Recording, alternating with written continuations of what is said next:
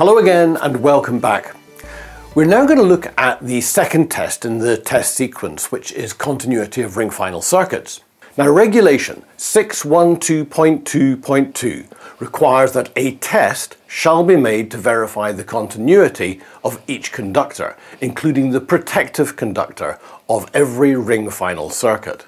This is necessary to confirm that the line, neutral and protective conductors of the ring final circuit are properly terminated at each socket outlet and that each of the conductors of the ring final circuit is continuous and unbroken and that there are no interconnections which are sometimes known as bridges in the circuit.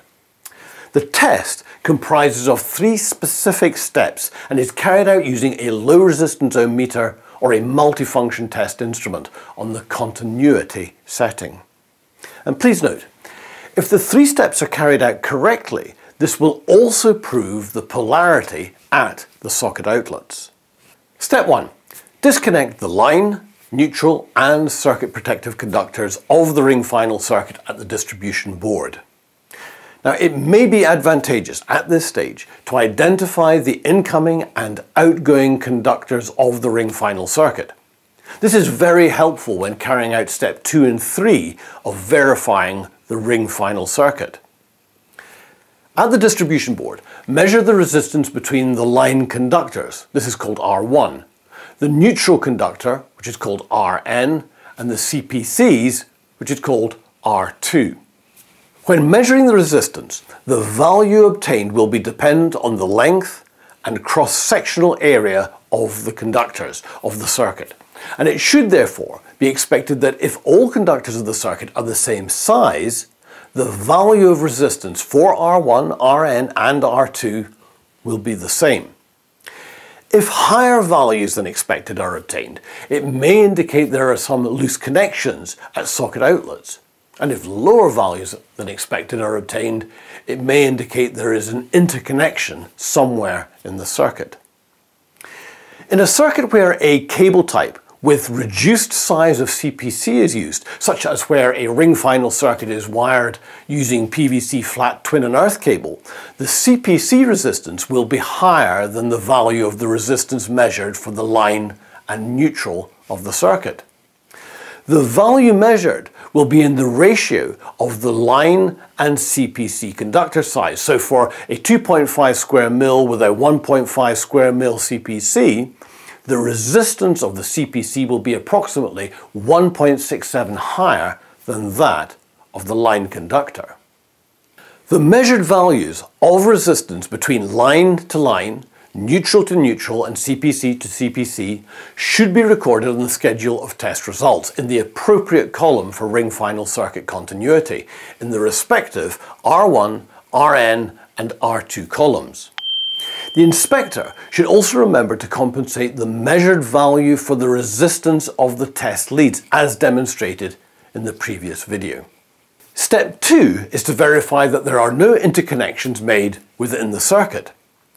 After completion of step 1, at the disconnected conductors located at the distribution board, connect the incoming line conductor to the outgoing neutral conductor and the outgoing line conductor to the incoming neutral conductor using a terminal strip connector.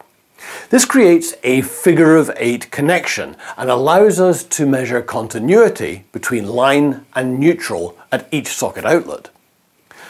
There are special plug-in test adapters that have been specifically designed for this purpose. The value obtained at each socket outlet should be approximately a quarter of the combined R1 and Rn value that has been measured in step 1 and be of a similar value at each socket outlet. However, socket outlets which have been connected as unfused spurs could show a higher resistance value. If, for some reason, an interconnection or bridge has been made in the ring final circuit, the resistance value measured will increase incrementally at each socket outlet after the point where the interconnection has been made until the middle of the interconnected circuit is reached. It will then incrementally reduce in value at each socket outlet until we reach the socket outlet located just before the point where the interconnection has been made. And you should also note, if the outgoing and incoming conductors of the circuit have not been correctly identified at the beginning of step 2 when connecting the figure of 8, this error will be revealed from the first socket outlet in the circuit in a similar way with the increasing and the decreasing resistance value. Also, the value obtained in step 2 does not need to be recorded. However, it's often noted in the remarks section of the schedule of test results for the inspector's own information. Now step 3 is to establish the effective R1 plus R2 of the ring final circuit and is similar to step 2. However, at the distribution board, you connect the incoming line conductor to the outgoing circuit protective conductor and the outgoing line conductor to the incoming circuit protective conductor. This again creates a figure of eight connection, which allows a continuity measurement to be made between line conductor and circuit protective conductors at each of the socket outlets connected in the circuit. As per step two, this can be measured using the special plug-in adapter that we mentioned before.